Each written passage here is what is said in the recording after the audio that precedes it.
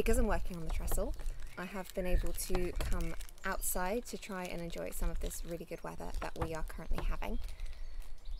So it should be a nice day if all goes well.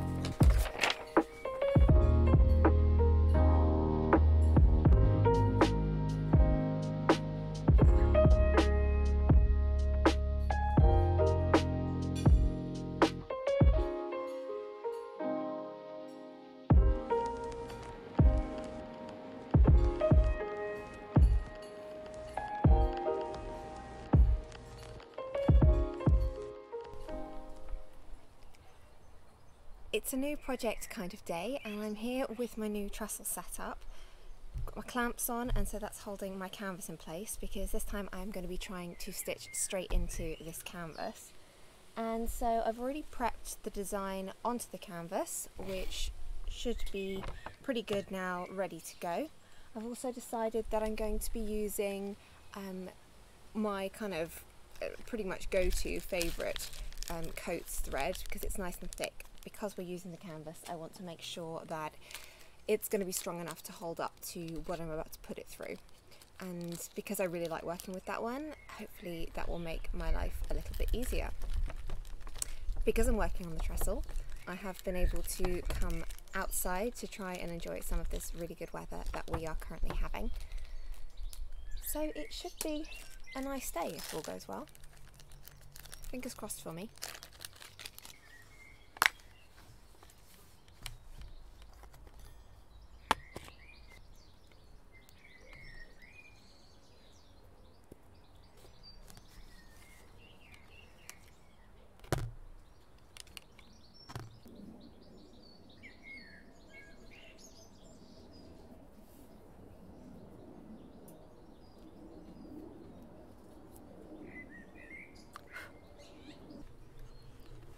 So because I'm working on a canvas, I am anticipating that it's going to be a fair bit harder to work around the edges, but with a bit of perseverance I think it's going to be possible, particularly as I'm working with the sequins again, so the stitch that holds the sequins on the edge doesn't have to be right at the edge, if that makes sense, because they're a little bit um, the hole is a little bit in from the edge of the sequin. So I'm going to be starting with the tree sections because they have the kind of greatest sense of movement in them and once I've got those in then I can sort of focus on filling in around them and hopefully that will work to kind of pull everything together. I'm not going for a totally realistic look with this particular piece. um, I will be using a mixture of black and kind of shades of pink for the trunks but with my experience of this technique it doesn't like you don't see the colours of the sequins the way you usually would because of kind of the density and viewing them from above rather than from the side. So I think this will work. It'll it'll be an interesting test. All the same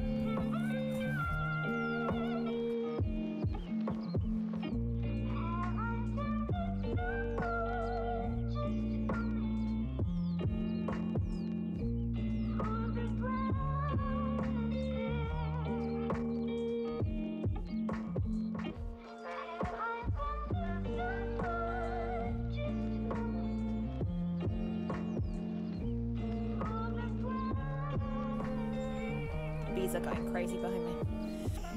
Anyways. So I thought I should um, let you in on what is going on with this piece and why I've decided to work on it and what's it all about. And so, like with most of my pieces, they are, you know, all of, of usually photos that I have taken as the starting point. And this piece is um, actually of a tree that is in the woods near where I currently live that we have we pass all the time and it's a really beautiful old tree. It's massive um, and so I've taken a lot of pictures of it during lockdown in the various seasons and I just thought it would make a really nice subject matter um, for this next piece trying to combine that sense of movement um, with the sequin approach that I've been going for and trying to get more of that sense of flow without it being as linear as the landscape piece, but still, you know, really catching the light, which is what I loved about the Silver Fronds piece.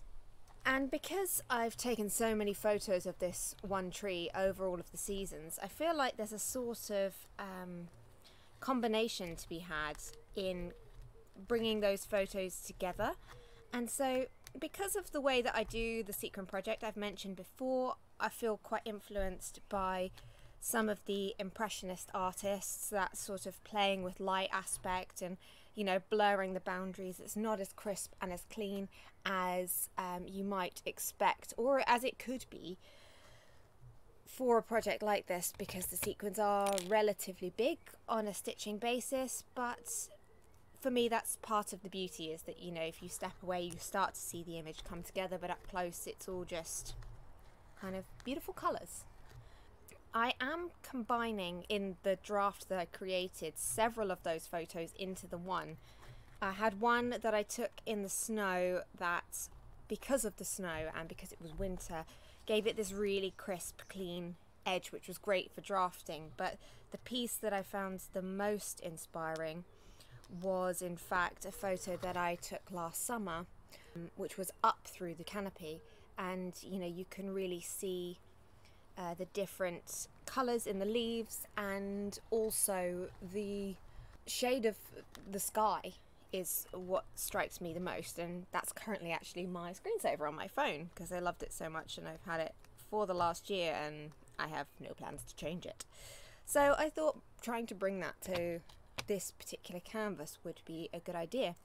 And that combination, I guess, brings a sort of like cubist elements to it. Um, you know, looking at the same subject from different angles at different times and then representing that all in one piece. Cubism isn't something that I normally am drawn to. I'm gonna say I'm not a big sort of Picasso fan, and I, I never really got it. But for this piece, I feel like it really could be an interesting angle to develop and I don't know whether that's still going to actually come across in the finished piece because it will have that kind of impressionist blurring applied to it so you probably just won't be able to you know see those finer details I expect but it'll be an experiment all the same like with all of these pieces basically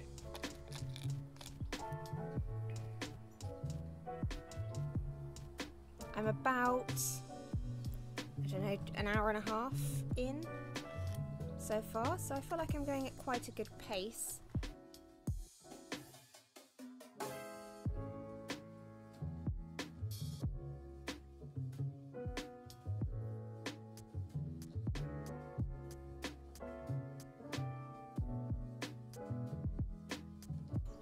As you can tell, I am stitching outside today, which I have to say is really lovely. Um, as I am such a pale creature, I am very much sticking to the shade.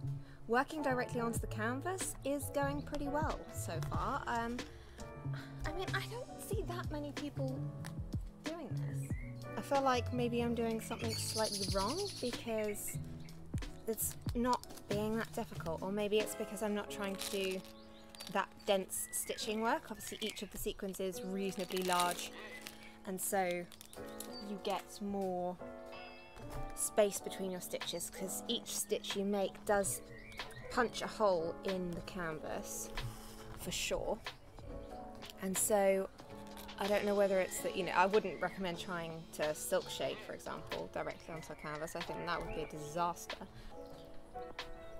and I thought that it was going to be really tough on my hands actually as well but I'm not really struggling too much with that you'll notice I am wearing my thimbles all I can say is that it's, it's really lovely to be outside. I don't know if you can hear the birds are pretty busy around me. I think that's quite sweet. A little renaturing for me.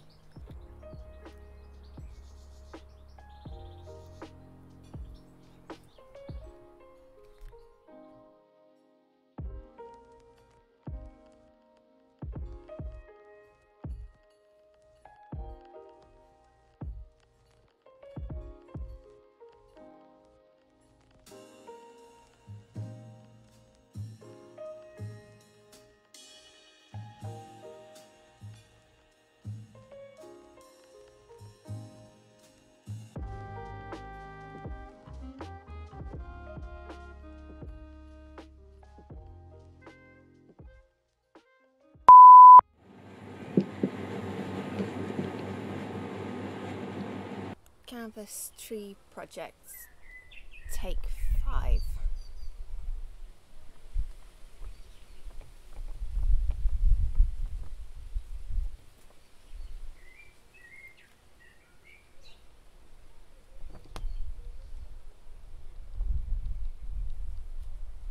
It's a new project kind of day and I'm here with my new setup.